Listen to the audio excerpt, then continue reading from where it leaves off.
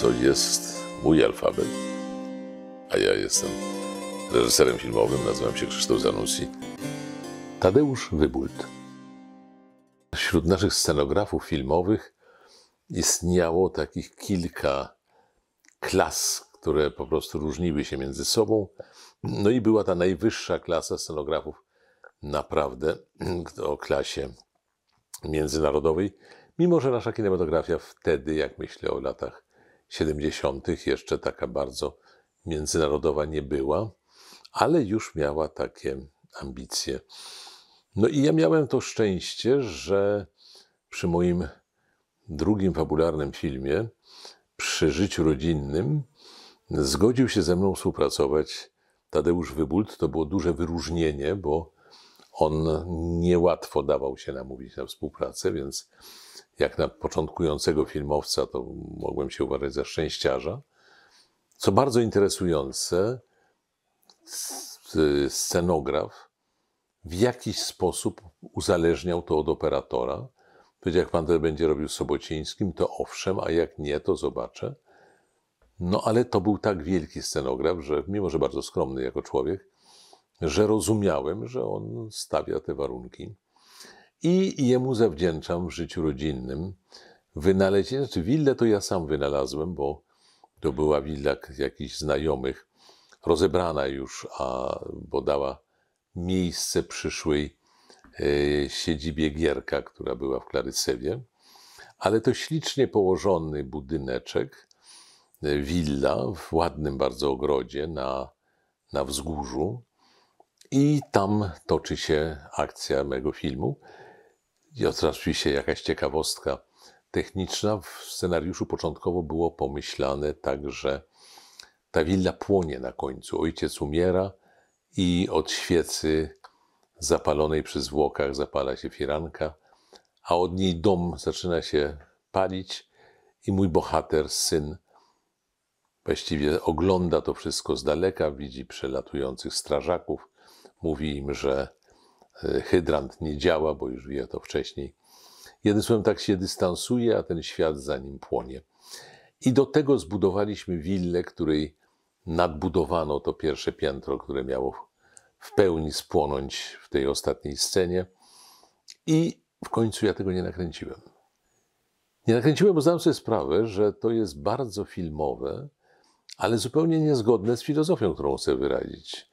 Ja nie chcę opowiadać o tym, że ten stary świat ginie w płomieniach. Ja właśnie chcę opowiedzieć, że od niego nie ma ucieczki, że my go dziedziczymy, że on musi być w nas. Czyli wszystko odwrotnie. I zrobiłem bardzo mało efektowne, ale chyba dość przenikliwe zakończenie, gdzie mój bohater, ojciec, nie umiera. Bohater wyjeżdża, myśląc, że wyjeżdża na zawsze, że już nigdy nie wróci. I w pociągu stoi przy oknie, tam taka kolejka podmiejska go podwozi. Jakiś węgielek wpada mu do oka i on zaczyna mrugać tym okiem i okazuje się, że on ma ten sam tik, który odziedziczył po ojcu. Ojciec też miał taki tik oka. I jakby to chce powiedzieć przez to, że, no, że nie ma ucieczki od własnej genetyki, od własnych, od przodków, którzy są zakodowani w naszych genach i że wszystko jest odwrotnie, a nic się nie pali. Andrzej Wajda, który znał te oba zakończenia, powiedział mi, że to, że sprzeniewierzyłem się sztuce, że trzeba iść za tym, co jest artystycznie takie w pełni organiczne, naturalne, że ten pożar byłby czymś wspaniałym na końcu. Byłby widowiskiem, fajerwerk to jest to, co ludzie lubią oglądać, a tam idea, czy, czy, czy, czy, czy człowiek się może wyzwolić, czy nie może wyzwolić od przeszłości, to jest czysto intelektualna spekulacja. Cytuję to, bo Andrzej mądrze mówił, ale ja się z tym nie zgadzam. Co zrobić? Ja chcę na to patrzeć inaczej. Mnie bardzo chodzi o te przesłania, o te sensy, które czasami są w kolizji ze sztuką. Pan Wybult, mój kierownik y, scenografii, też bardzo bolał nad tym, bo ten pożar bardzo mu się podobał, a nie nastąpił. No a y, willa potem niedługo później padła pod y, buldożerem, który ją zniszczył, zostawiając pole dla tego tej nowej willi, w której pan Gierek żył przez długie, mieszkał długie lata. No i tak to było z naszą pierwszą współpracą, po czym nastąpiły następne współprace. Pamiętam, pan Wybór miał ogromną słabość do filmów kostiumowych, historycznych, więc robione dla, dla Niemców i Francuzów Drogi pośród nocy, no były dla niego takim filmem, który szalenie polubił i bardzo dużo włożył do tej scenografii. Wtedy właśnie Pałac w Oborach udało nam się chociaż troszeczkę dołączyć pieniędzy do jego remontu. Dodaliśmy tam brakujące, postłuczone dawniej herby, zasłony na okna i coś takiego. On bardzo czule zawsze podchodził do obiektów zdjęciowych, które tworzył, a jednocześnie ciągle widać go było z farbami, z pędzelkiem, bo on każdej scenografii coś poprawiał, coś domalowywał, coś przyklejał, żeby wszystko było doskonałe. Zawsze ostatni schodził z planów już po wszystkich próbach. Trzeba było wypraszać, żeby on dalej nie poprawiał tego, co było zwykle bardzo dobre. Do tego pan Wybór był człowiekiem szalenie pryncypialnym, w sprawach sztuki szczególnie. Bardzo wnikał w scenariusz, w to o co chodzi, kogo w danej historii lubimy i za co go mamy lubić. No i miał bardzo duże takie, dużą wrażliwość na aktorów. Pamiętam też, jak głośno zachwycił się Mają Komorowską, widząc ją po raz pierwszy, a towarzyszyło Mai dużo takiego sceptycyzmu i takiego no, krzywych spojrzeń, no bo zawsze taka nagła kariera to budzi jednak u zawistników wiele złych uczuć. Tutaj Wybór był doskonałym przykładem takiego człowieka zaangażowanego w sam film i w to, żeby to się udało jako przedsięwzięcie ponad wszystkie środowiskowe układy i plotki. Wybór był człowiekiem samotnym, natomiast kochał dzieła sztuki. Czasem dzwonił do mnie i mówił, panie Krzysztofie, musi pan jechać do Desy, bo jest jakaś wspaniała ramka do obrazu albo jakiś widelec, który powinien być u pana.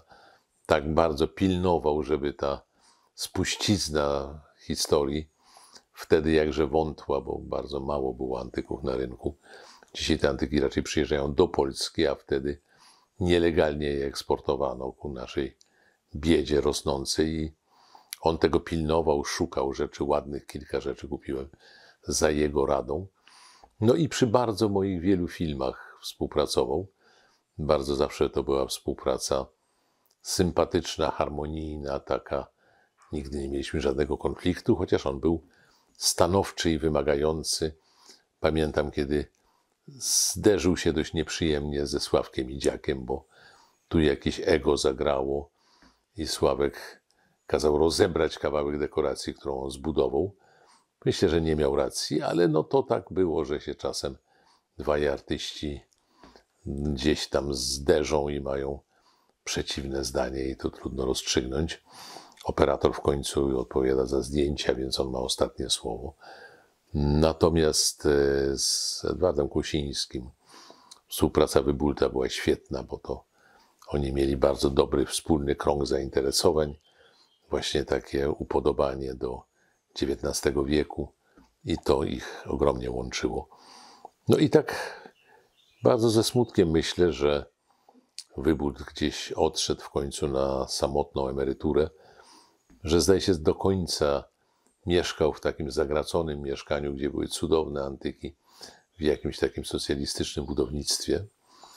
No i zawsze na tych wyjazdach wszędzie Widziałem, że jak im dalej od tej Warszawki, tym bardziej Wybór czuł się tak u, u siebie w domu, bo miał takie poczucie tożsamości w każdym starym dworku, w każdym starym kościele, w każdym miejscu, gdzie, było jakiś, gdzie był jakiś powiew historii.